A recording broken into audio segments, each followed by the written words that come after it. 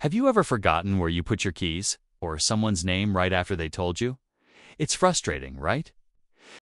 But what if you could remember everything, every single second of your life? Sounds like a superpower, doesn't it? For one man, it was a living nightmare. Meet Solomon Shereshevsky, a journalist living in 1920s Russia. To his colleagues, he was a bit of an oddball. His editor would give out long lists of names and addresses for assignments.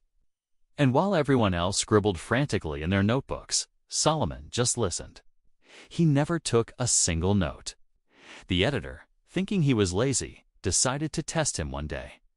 He asked Solomon to repeat the entire list, word for word. And to everyone's astonishment, he did.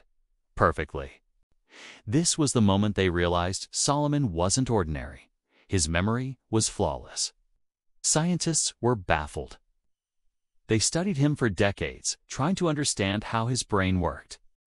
It turned out he had a rare condition called hyperthymesia, combined with a powerful form of synesthesia. This meant his senses were all jumbled together. A number might have a taste, a sound might have a color, and a person's voice could have a specific texture. When he remembered something, he didn't just recall a fact. He relived the entire sensory experience. For Solomon, memories weren't just thoughts. They were overwhelming, multisensory assaults. While this might seem amazing, think about the downside. He couldn't forget the bad stuff, the painful memories, the embarrassing moments, the sad goodbyes, they never faded. They remained as fresh and raw as the day they happened.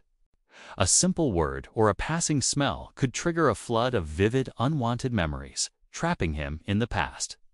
His mind became a cluttered attic, filled with so much junk that he struggled to find what he actually needed.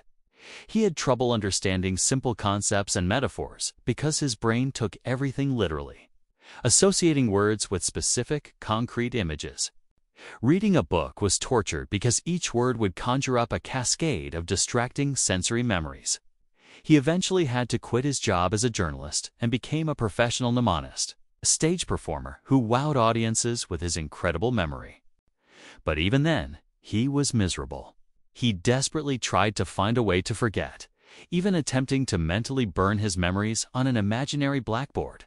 Solomon Shereshevsky's story is a powerful reminder that our ability to forget is just as important as our ability to remember.